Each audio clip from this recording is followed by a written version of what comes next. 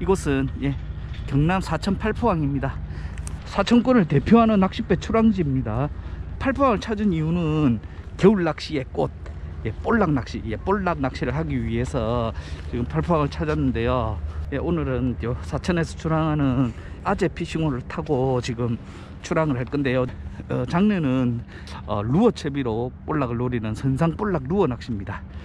자 사천권도 뭐 남해동부권 거제 통영 뭐 고성이나 네. 크게 차이 나질 않을 것 같은데요 네. 볼락 시즌을 언제부터 언제까지로 보면 되겠습니까? 어, 볼락 시즌은 지금부터 해가지고 예. 2월달, 길게는 3월달까지 볼락이 뭐두 종으로 하고 있습니다. 아, 볼락 조항 제일 좋을 때가 언제인 것 같습니까? 아, 이게 해마다 틀린데 예.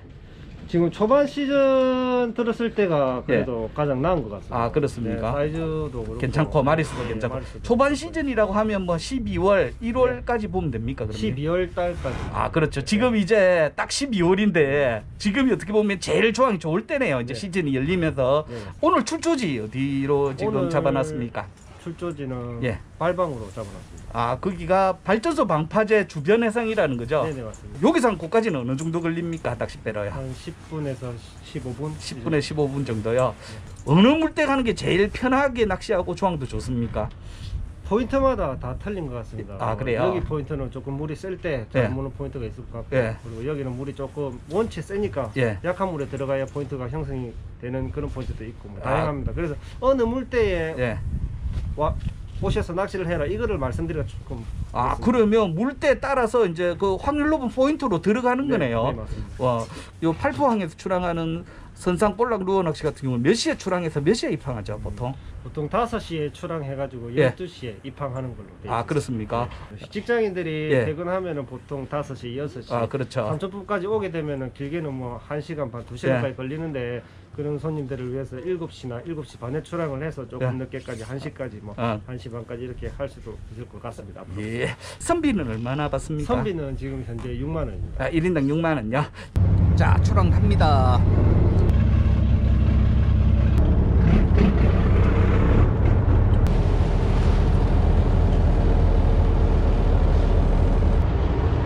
오늘 낚시할 자리 예 낚시할 자리에 도착을 했습니다.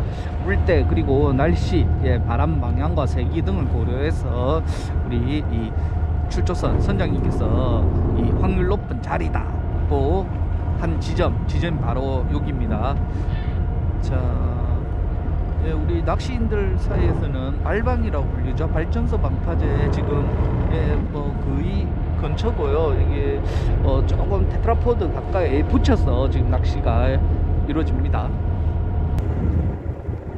자 Tailwalk field tester 이경식 씨 지금 예, 이제 포인트에 도착을 해서 지금 장비 준비를 하는데요 지금 낚싯대 두 세트 준비해 오셨습니다 그두 세트 준비해 왔는데 예. 아마 한 세트로만 주력으로 쓸 것 같습니다 오늘은. 어, 네. 지금 여기 오늘 취재하기 전에 예, 예. 그뭐 어제도 그렇고 몇 번 이쪽으로 탐사 출조를 하셨죠? 예, 예. 어, 뭐 조황이 어땠나요? 어, 그렇게 대형급 사이즈는 많이 안 나와도 예.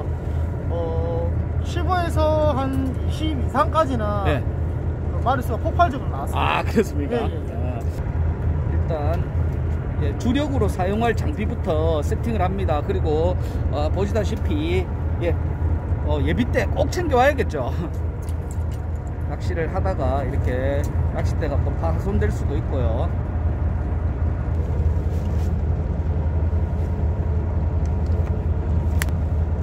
스프리드에 바로 지금 이제 지그 헤드를 묶고 있습니다.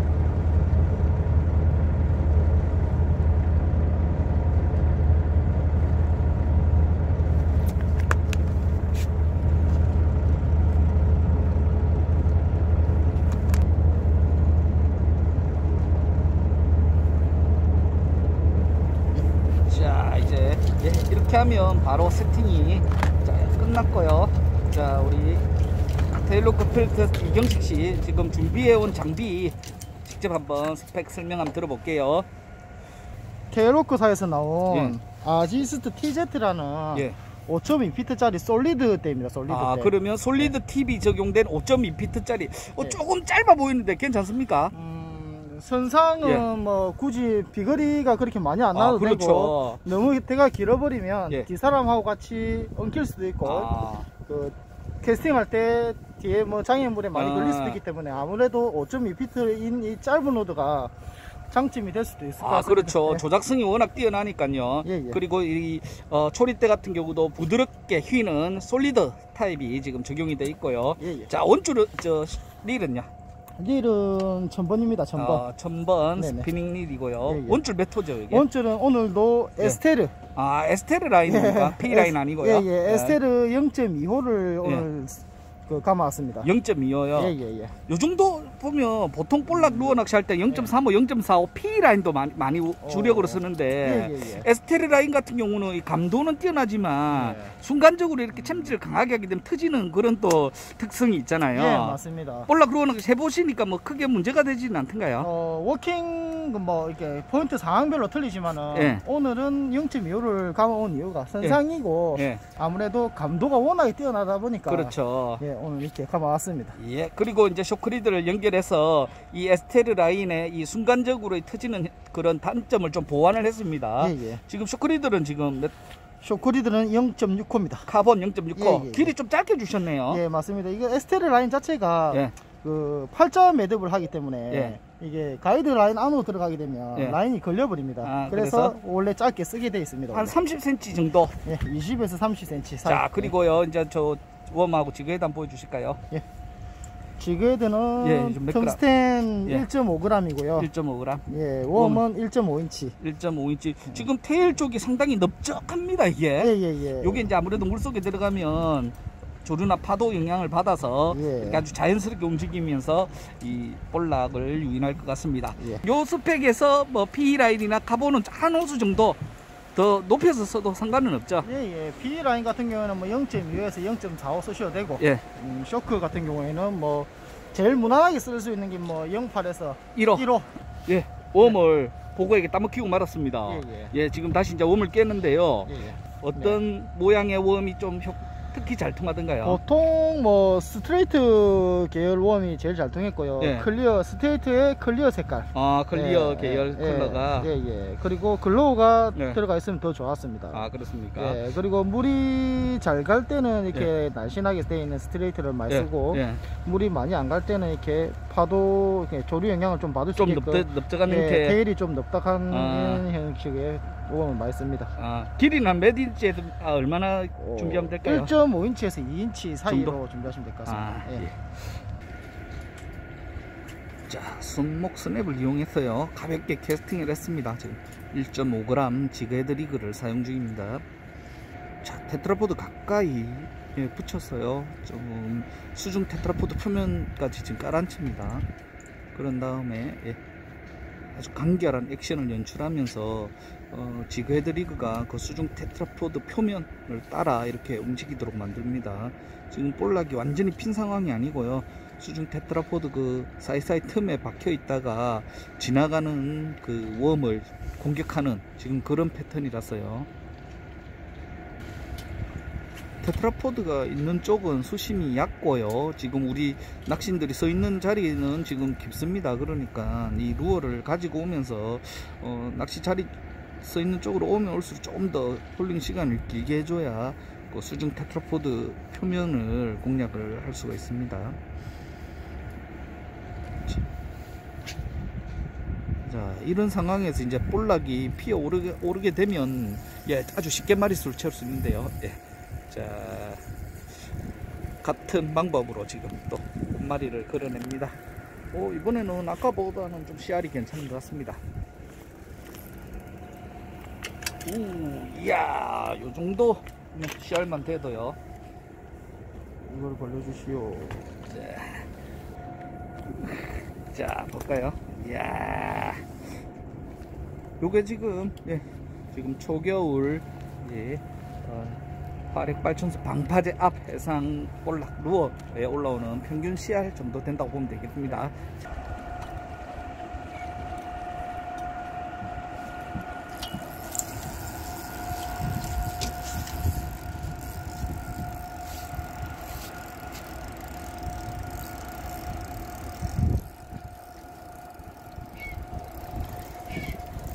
자, 한 마리 한 마리씩 마리수를 채워가고 있습니다 지금. 자, 오, 오, 이 정도만 돼도요, 지금 이게 평균 씨알이라고 보면 되겠습니다. 예.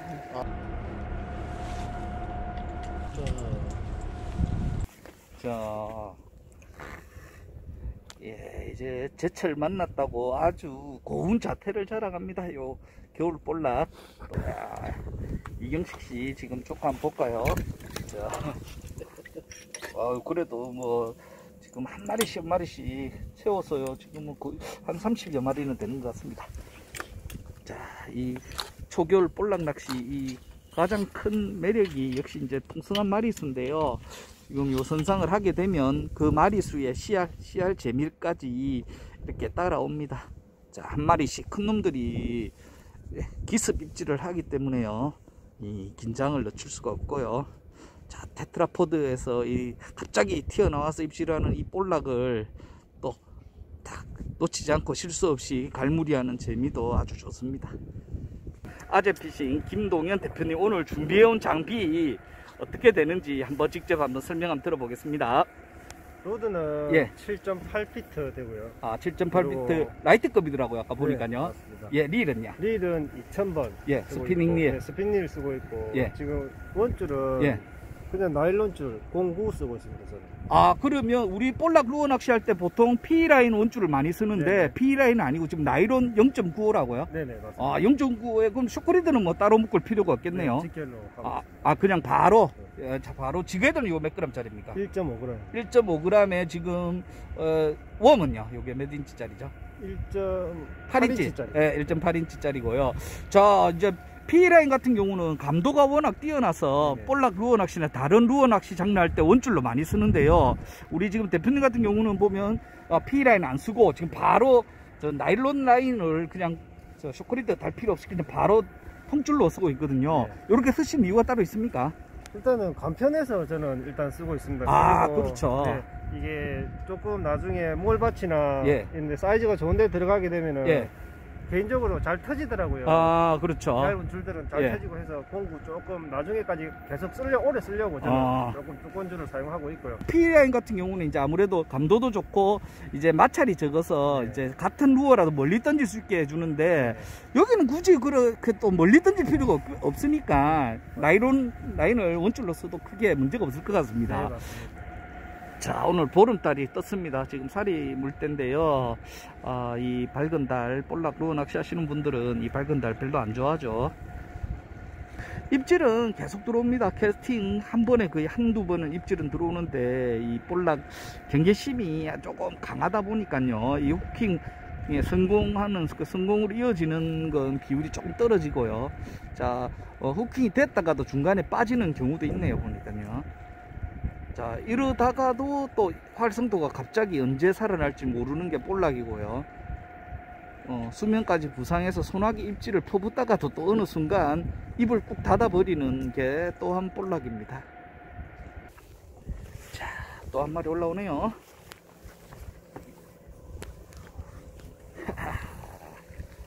자.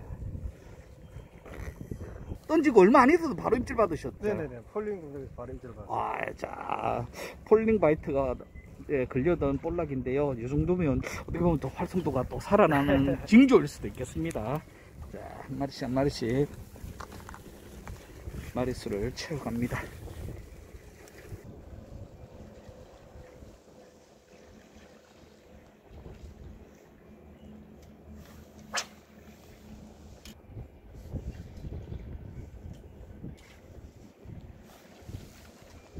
자, 예, 아주 지금 볼락 입질이 다시 얕아졌습니다. 입질이 살아나다가요. 지금 경계심이 강해지면서 다시 입질 빈도가 뚝 떨어졌었는데요. 아주 섬세한 채비 운용으로 예, 경계심이 강화된 볼락을 또 한 마리 유인해냅니다. 지금 자, 우리 아재 피싱 김동현 대표님 지금 한 마리 한 마리 마리수 채우고 있는데요.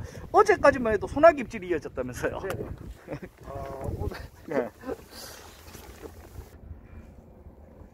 오늘 살이 물 때 조류가 조금 빠른 편이라서요.